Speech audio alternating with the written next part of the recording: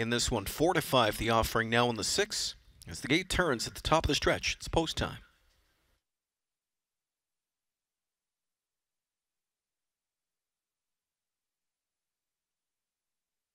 Lined up on the gate for the fourth race. Here they come.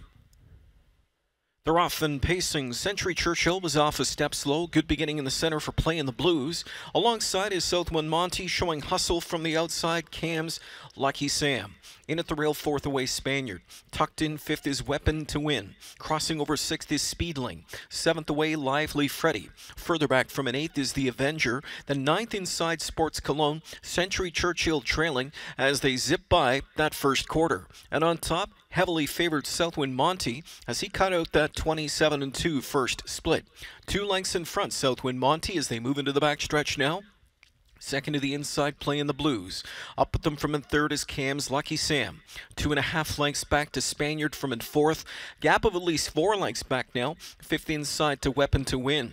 Another gap to Speedling. Another gap back to Lively Freddy as they're all strung out across the backstretch. Further back is the Avenger. Stepping out is Sports Cologne. Century Churchill. He's got to be 20 lengths off the lead at the midway point. They're there in 55 and 3 at 28 and 1 second quarter. And as they move around the final turn, on that lead for McDonald. Southwind Monty. Second to the inside, playing the Blues with three eighths to go. Cam's Lucky Sam from third now. Fourth inside there, tracks along Spaniard. Fifth behind him is Weapon to Win.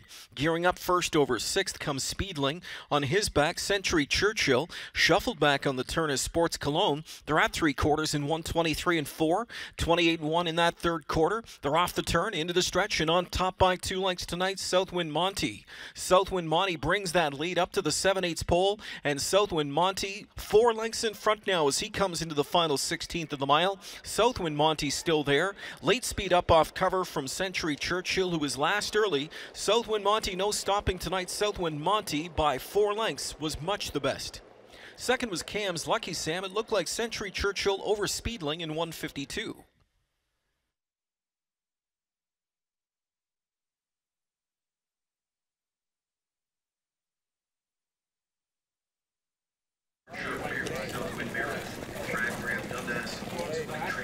Driver James McDonald, 152 score tonight with one still in.